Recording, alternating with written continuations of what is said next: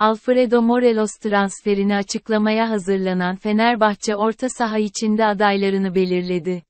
Sarı lacivertliler, Galatasaray'ın da gündeminde yer alan Thomas Partey için devreye girip bütçesini yükseltmeyi hedefliyor. Avrupa'da transfer döneminin son anları yaşanırken, yönetim müthiş bir operasyona imza attı. Sarı lacivertlilerin Batshuayi ve Crespo'yu satarak kasasına 13 milyon euro koyması bekleniyor.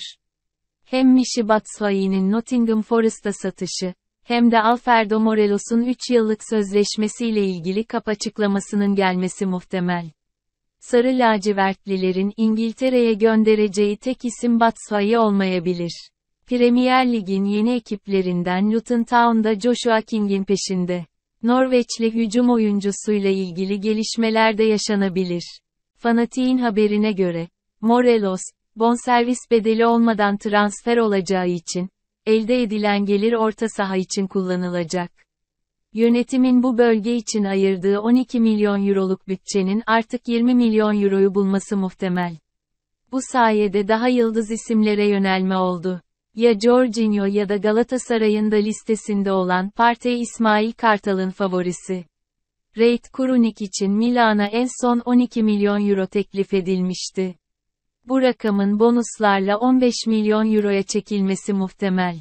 Yönetim diğer yandan daha isimli bir futbolcu için de arayışlarını sürdürüyor. Arsenal'in iki yıldızı, Jorginho ve Thomas Partey için teklif yapılması bekleniyor. Sarı lacivertliler, bu ikiliden birini kadrosuna katmayı planlıyor. İngiliz ekibine yapılacak teklifin 20 milyon euroyu bulması sürpriz olmaz. Wolves'tan 30 milyon euro sarı lacivertlilerin yeni adayı ise Bragalı Muhammed Al-Musrati.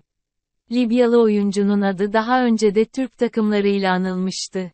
Her geçen sezon performansını artıran 27 yaşındaki futbolcu için Wolverhampton, Ocak ayında 30 milyon euroyu gözden çıkarmıştı. Ancak Braga, sezon ortasında takımın önemli bir oyuncusunu kaybetmemek için teklifi geri çevirmişti. Fenerbahçe'nin Al Musrati için maliyet araştırması yapmaya başladığı öğrenildi.